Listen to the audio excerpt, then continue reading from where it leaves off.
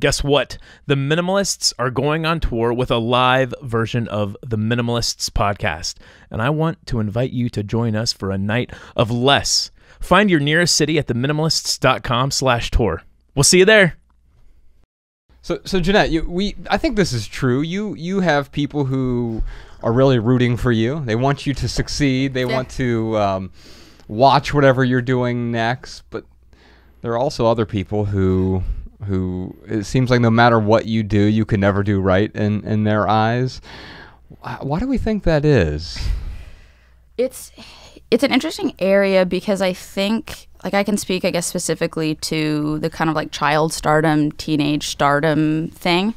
Uh because I feel like that's what people are even more interested like people are even more interested in seeing a former child star mm-hmm. fail, right? Like I, mm. there's like Lindsay Lohan, Britney Spears, I mean Macaulay Culkin, Justin Bieber even. There it's like there's the the idea of pulling down their narrative and making them into this crazy like person having a mental breakdown.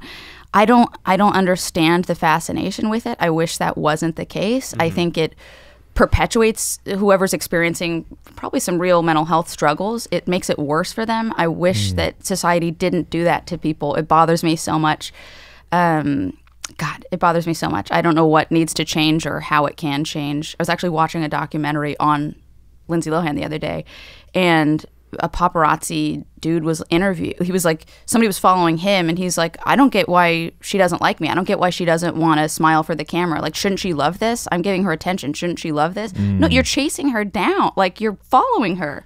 Why would she love it? It doesn't make any sense to me, you know? Well, and but I think it makes sense to him because that's what he wants. He wants someone to.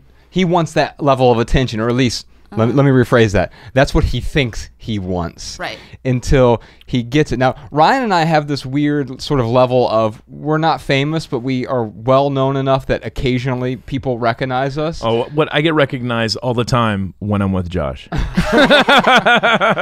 that well that's what i wanted to ask you guys i was curious how much people like it, like is it normal for people to shout out their windows how often does this happen Yeah, I mean Yeah. it's five, six times a day maybe, but Yeah. it's not it's not enough where it's like if I'm walking through a crowd, it's one out of fifty people maybe, and so like it's not. It, but you never know who that one out of 50 people are, right? And- Yeah. And, if it's one out of 50 people who say something, then it's what? Another four or five who don't say something. Mm. But still, it's the vast, vast majority have no idea who we are. And mm. I'm, I'm completely contented with that.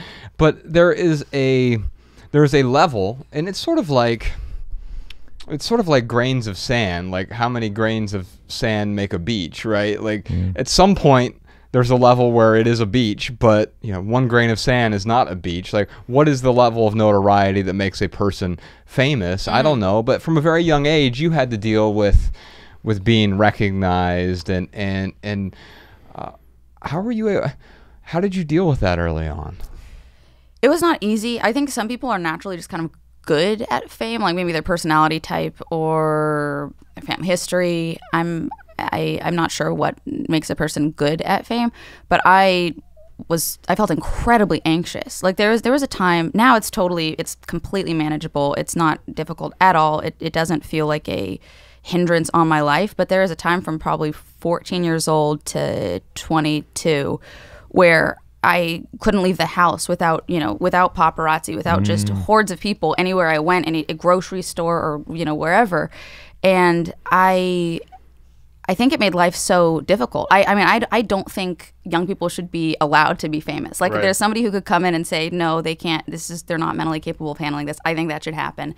Um, because I it just, you know, the thing with former child stars having breakdowns makes so much sense to me because I think the world that you're thro- thrust into kind of like puts you right in line to have a breakdown. Yeah. Well, there's this thing. It's it's so abnormal to have people follow you around and want your want to capture the moment with you.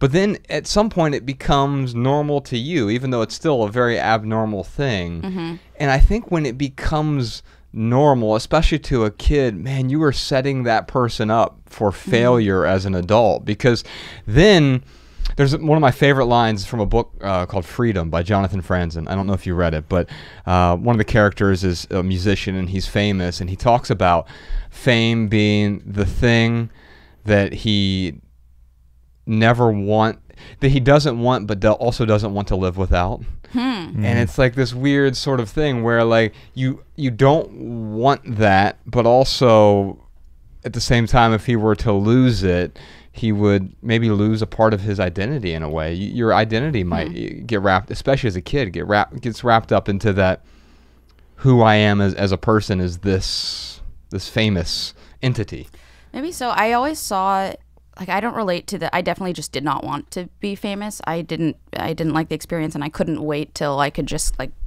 you know put that aside. But um yeah, I wonder what he was finding like what he was latching onto in the fame. I guess the identity thing makes sense. I feel like particularly for actors, maybe there's there's a bit of an identity crisis with being famous because you're famous for something that's not you. Like maybe it's easier for Oprah or somebody who's like doing something they're proud of and it's them, and you know, or I assume she's proud of. Uh, I hope she's proud of what she's done.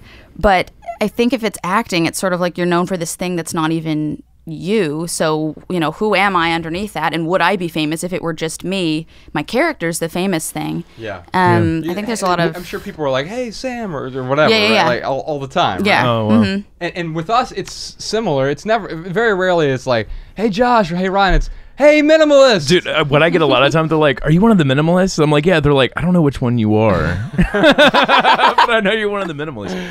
You know, I think the the thing with with the line you were quoting from Freedom is that we all need some significance in life. Yeah. So fame, uh, I think, will certainly give you that feeling of significance in people's lives. So maybe that's what he's trying to hold on to is that that significance. So maybe Yeah. you know the answer to like that that whole uh, that sentence that you were quoting there was you know find a way to be significant in a meaningful way, mm-hmm. and maybe that's maybe it, and it's it. Well, the significance thing is also what Lauren's question is talking about here. Why do people tear other people down? Because they want to feel Dude, it's so. Yeah, common. yeah, There's yeah, a yeah. Schad- Schadenfreude is the mm-hmm. word, Yeah. like because it's such a common thing. Right. I, I think I think right.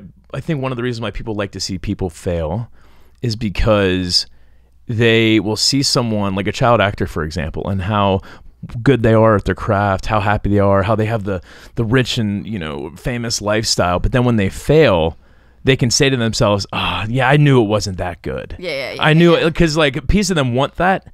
But then when they see someone fail, they're like, "Oh, maybe, yo, yeah, I really didn't want that because it's it's uh, it's not all that it's cracked up to be."